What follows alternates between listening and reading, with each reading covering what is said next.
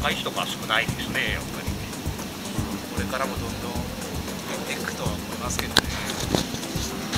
正確じゃないもうね近くに来たら線パーンって出て。ある程度正確自動走なんです名もない雪の中走ってった時に盛り上がってるとことか、うん、多少の、ね。うんはいいんだけど極端にポッとこういう段差が色色でも分かればね、え前後の状況もですね、えーしっかり確認できるような状況で、えーとても、えー、視認性もよろしいのではないかというふうに考えています。作業の進捗状況の確認や、えー作業に対する、えー細かい指示をする際にあの利便性がいいというふうな、えーふうに今思っているところでございます。はいえーまあ、後日、えー連絡と来る場合がありますので、えーその際にですね、まあ、作業に対する問い合わせ等があった場合に、えー正確に、えー記録が残っているので、えー確認した上で、えー回答することができるかなというところも思っております。初めてあの作業する、え方に対して、まあ、あの作業する方法や、え状況について、え目で確認しながら、え説明できるところがあまメリットがあるのかなというふうに感じております。今後ますますの財政的なものも、えー含めてですね、あの厳しくなる状況の中で、その費用を抑えることができるっていうのは、かなりメリットがあるのだと考えています。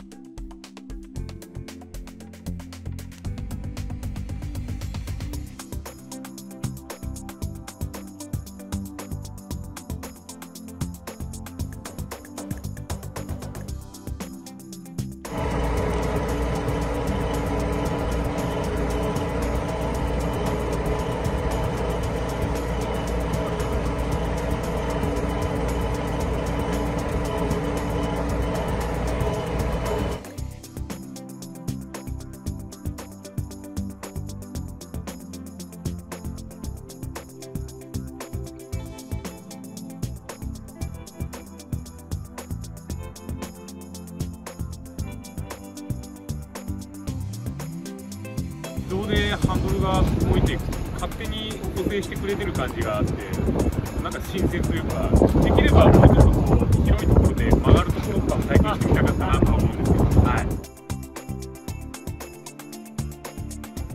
RTK で使ってた時と全く同じような感じで精度の高い作業で導き使えることができています。補正情報は、ま、全く RTK とお遜色のない精度の高い、えー作業ができたので全く問題ないと思います。RTK の時は、まあ、携帯でテザリングとかそういったあセットすることが結構あったんですけど、えー今回の C ラスだと、まあ、電源オンでつながるのでとても楽で便利だと思います、